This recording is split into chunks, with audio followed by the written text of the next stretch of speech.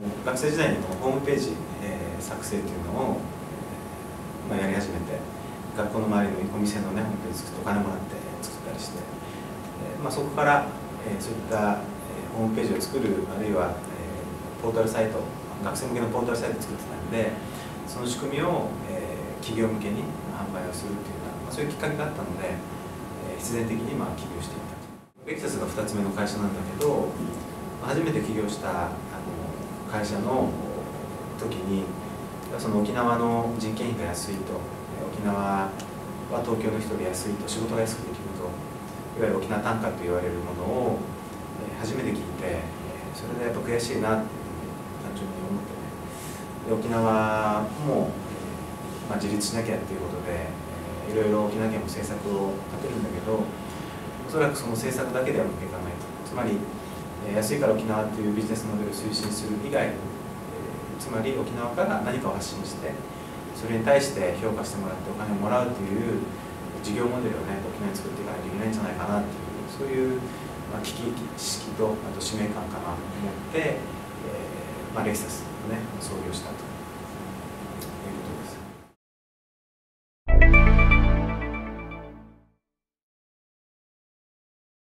沖縄を変えなきゃというから設立したので、目標も具体的に持っててですね、まあ、拠点は沖縄に置くということですよね。東京じゃなくて沖縄に置くと。でも市場はマーケットは県外あるいは海外。で最後に3つ目が請負ではなくてオリジナルサービスを提供していくと。つまりレクサス沖縄にいながら自社オリジナルサービスという武器を持ってそして県外海外というねよりあの広い、えー、高いレベル勝負していこうというふうに決めてそういうふうに目標を決めてやってきました。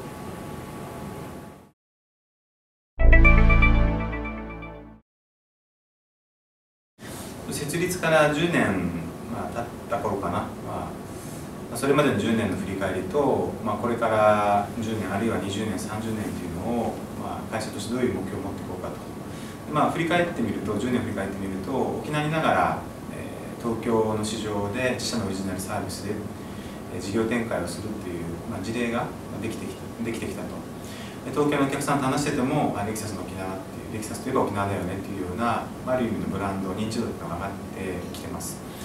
なのでそういったのを踏まえて今後の10年20年で目標にしていきたいのがやっぱ海外、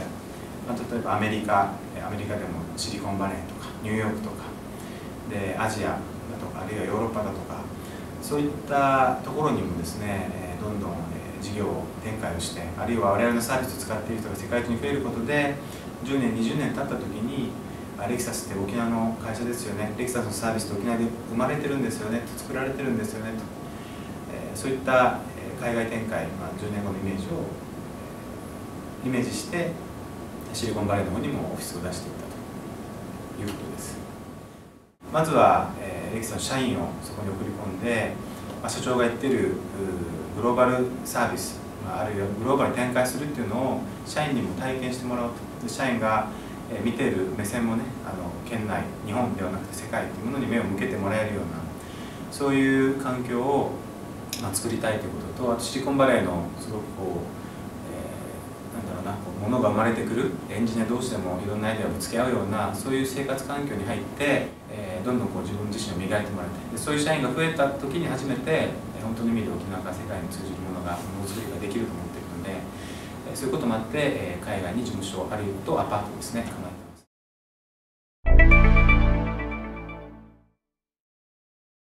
会社創業して3年5年っていうのはものすごく成長本当に短期間で成長するんだっていうことでえー、一生懸命こう会社の数字を作ることに専念してきていた時期があってでその時にやっぱりこう人が道具になってしまう。あの技術のある人とってダメだったらもうやめていく。あるいはやめていってもらう。そういうことをやってる時期があったんだけど、まあ、10年これ振り返った時に、果たして本当にそれでいいのかと。か会社って何だろうとかレキサスって何だろうとか社長って何だろうとかっていうのを、考えた結果出たのがやはりこれから20年30年あるいは100年200年沖縄に根を張って、大きくしていくためには人、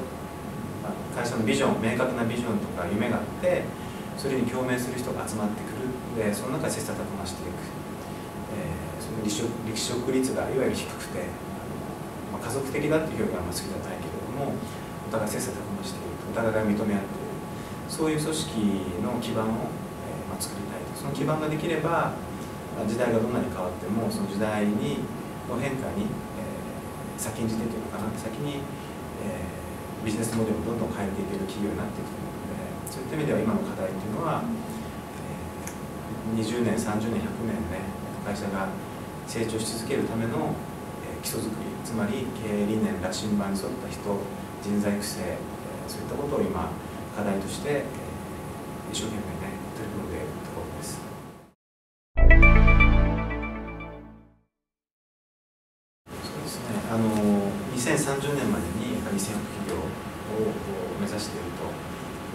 があるので、え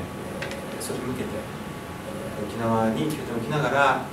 海外にもねいろんな人がレキサの社員が出ていってそこでいろんな企業と連携しながらサービスを提供したりあるいは沖縄で生まれたものが世界中の人に、え使われていたりとそういうことを2030年までに実現して結果として、え2000億円のビジネスが会社として回っているそういう状況を作っていきたいなと思っています。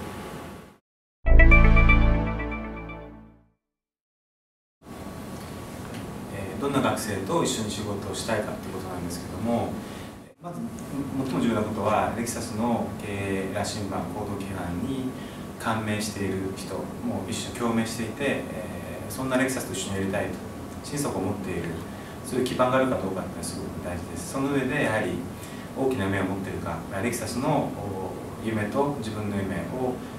えー、リンクさせて実現したいというような夢を持っている人かどうか、レクサス自身沖縄拠点にグローバルに展開をする